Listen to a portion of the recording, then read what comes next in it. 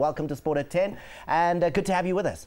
Thank you very much, Tom. Manje And, uh, wohleka lapha, wohleka, wohleka ngale. I know. I'm a very shy guy. but on the field, I'm not shy. You're not shy. I'm not shy to Oh. do what God has blessed me with. Uh, now, let's start with last year. Yeah. You, I think, gave something like what 500,000, uh, maybe a little bit more rand to various charities.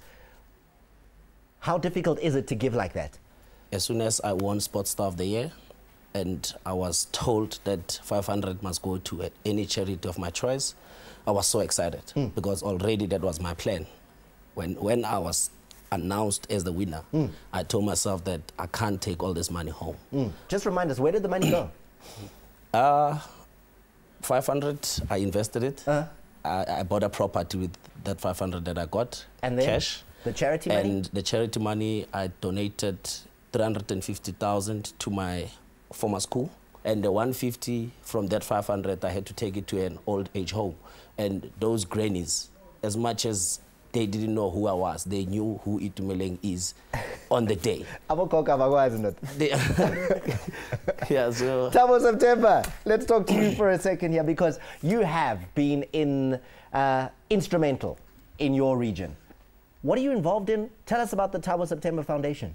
Um, yeah, the foundation, um, you know, when you are a soccer player, you realize how fortunate you are, how lucky you are that you can play and, and work something that you love. Mm. And um, yeah, so starting the foundation for me was to say, these boys, Southern Cape is in the garden route. People know about the garden route because it's the nicest route to take when you go to Cape Town. Exactly, you stop and Uh. enjoy your life. But um, with football, there's so much football in that area that um, I saw the need that even before I end my career in soccer, I must start investing in the youngsters and making sure that they get the opportunity before I leave football. And um, yeah, and that's what is happening. I've got an under 17 boy playing in the national team now. Guys, you know, we see these things with foundations and stuff, and I have to ask you this, guy, this question straight.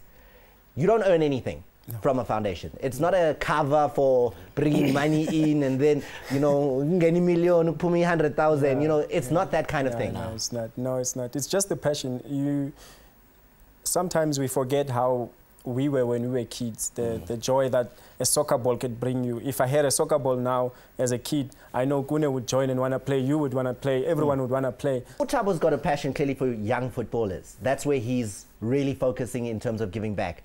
Once you start and you have your holding company and you're starting to do that, where will your focus be? What What is your passion from a charity perspective? To be quite honest, as a goalkeeper, I mean, on my social networks and on my email address, I get a lot of requests. People want me to have a goalkeeping academy. Hmm. To, I mean, a lot of people out there or youngsters are inspired by, by my work. I was also inspired by Brian Baloyi, whom I grew up watching. He gave he once gave me a pair of gloves that I slept with in my bed for the for the next two weeks. So I, I like I know that feeling that when someone says, "Can I please have a pair of gloves?" I even uh, had to ask Nike to come in the picture and help me to say, I, "I've got a budget of my gloves that I use throughout the season." But can you please give me other gloves that you can put my name on? And I know every game I go to, I need to carry gloves. Like there's an initiative I introduced last season mm. where every after game I would spot someone wearing Khune jersey number 32, wearing an armband.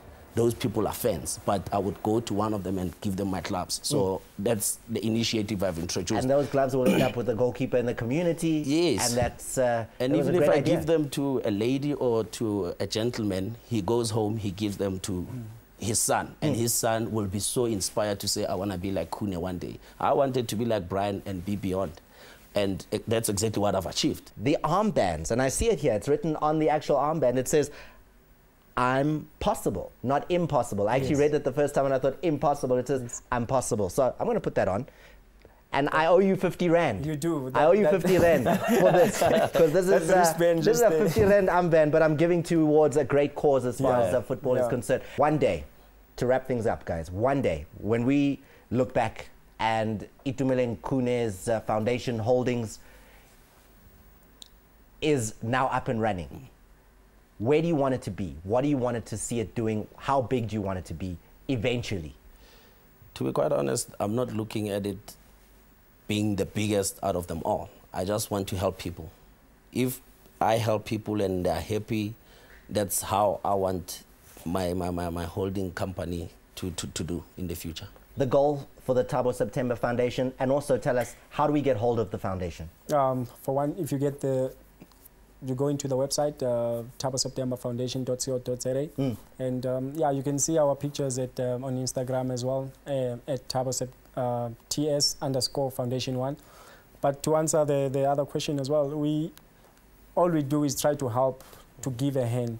And if Khune can help so many kids, and I can contribute, just like Sia Ngosi is also doing his tournaments Yeah. back home. Um, we've got all these close Sekholele is doing something during the No Lennox off-season. na ukhona. Lennox in charge. So we, we, we all, as a collective, we're doing that's that's what counts. If we can change one kid's life, um, for us, it's a it's a big achievement. Well, you've already done that, both And- of you gentlemen. Last, last thing from me, we urge other footballers, if they can make a difference in their communities or where the help is needed, Yeah. we can join together and become one and help one another. Hmm. Like, as much as we are 11 versus 11 on the pitch, Yeah. we can also team up, come up with ideas, and try and help the whole of South Africa, even beyond. I mean, across the, the, the borders, just to, to, to touch people's lives. Come, I mean, last June, I was in Lesotho. So many people follow South African football. In Botswana, so many people follow South African football. So all I'm saying is we can even just go across and just put a smile on other people's lives. And it will mean a lot to them for the rest of their lives. Their lives.